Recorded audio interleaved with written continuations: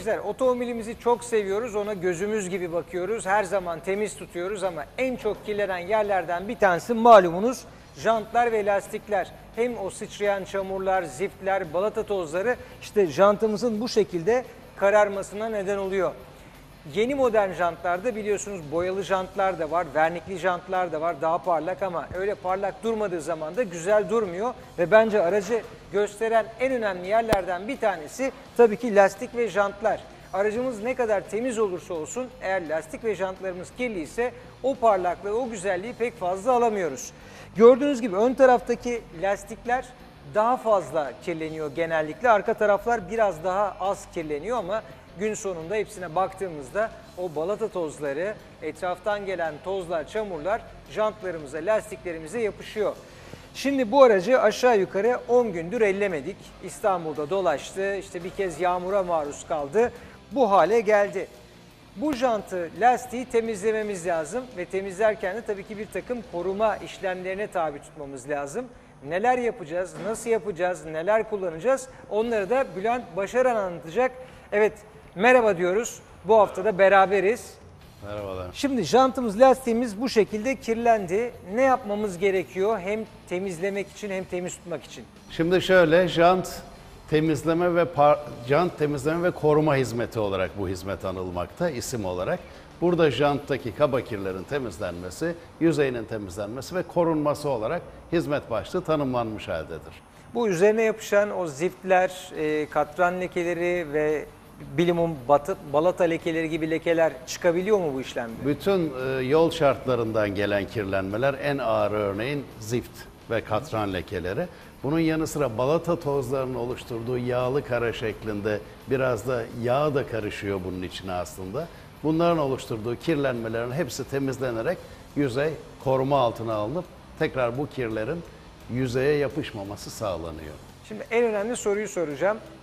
Biz normalde aracımızı yıkadık, işte su tuttuk, yıkadık.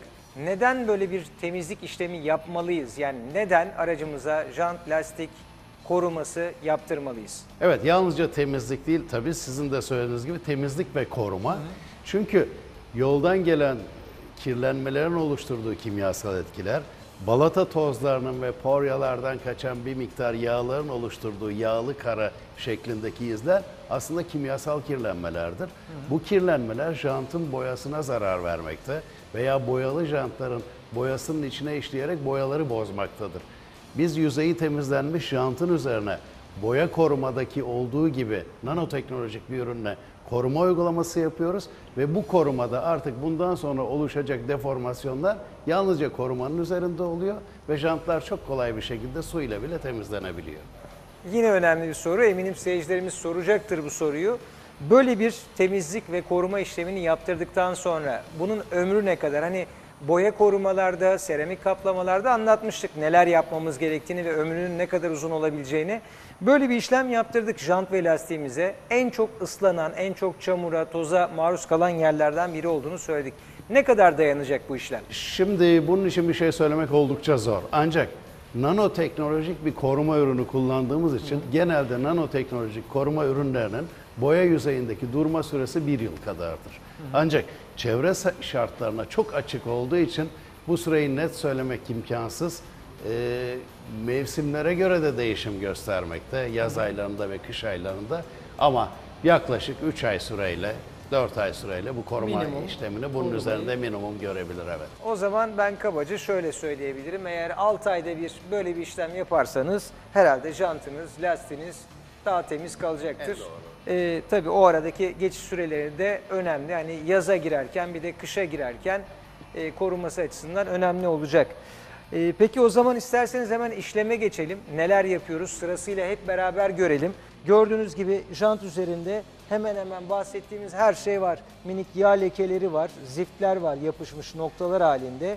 Balata tozları var, genel tozlar var tabii ki kirlenmiş halde. Şimdi ne yapıyoruz sizden dinleyelim. Jant temizleme ürünüyle önce janttaki e, inatçı kir ve lekelerin temizlik işlemini yapıyoruz.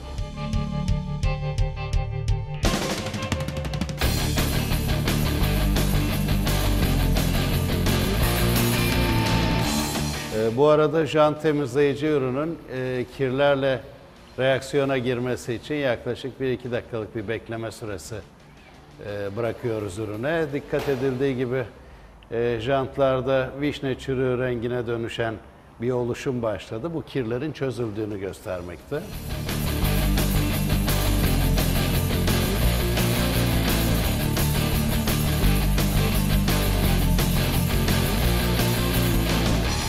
Şimdi jantlar Sonax şampuanıyla hazırlanmış suyla yıkanıyor.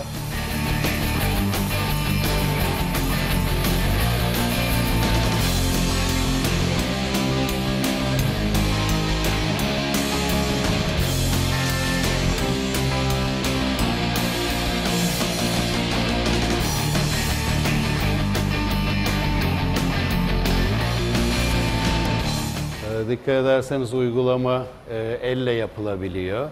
Jant temizleme ürünü ve yıkama ürünü pH değeri yaklaşık 7,5 seviyesinde e, bir değere sahip. Sağlığa ve çevreye zarar vermeyecek şekilde bir ürün. Şimdi durulama işlemini yapıyoruz jantlara. Üzerinde kalan diğer köpük ve kir lekeleri varsa onları alıyoruz.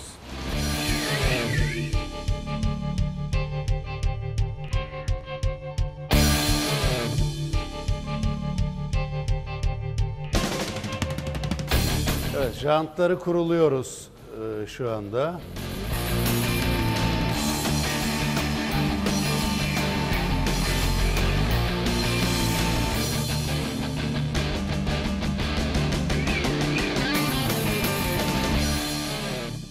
Jant üzerinde yıkama sonrası kalan inatçı kir ve lekeler var ise eğer, e, bunlar katran ve zift lekeleri çoğunluklu olmakta. Katran ve zift lekeleri de katran zift çözücüyle temizleniyor şu anda. Sonrasında jant tekrar kullanarak koruma işlemi yapılacak.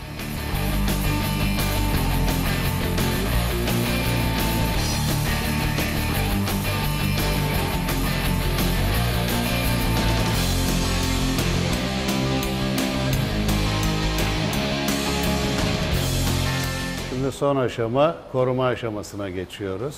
Burada nanoteknolojik bir ürünle e, jant üzerinde koruma işlemini uygulayacağız.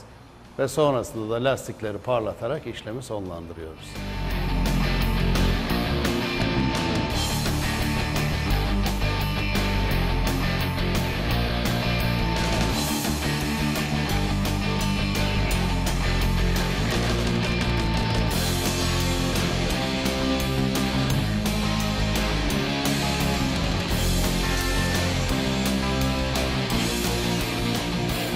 Koruma işlemini tamamladık ve şimdi yaklaşık bir saat süreyle aracın beklemesi gerekiyor. Bekleme süresi jantın boya yüzeyine koruma ürününün tutunması ve reaksiyonu tamamlaması için öngörülen bir süredir. Bu süre bittikten sonra lastiğin parlatma işlemi yapılacak ve ondan sonra işlem sonuçlandırılarak araç teslim edilecek. Peki bu işlemi yapmak için benim illa bir yetkili servise bir yere gitmem mi gerekiyor yoksa kendim de uygulayabiliyor muyum? Bu işlem kişisel kullanım ürünleriyle de Sonax'ın uygulanabilir. Sonax shoplarda bu ürünlerden mevcuttur.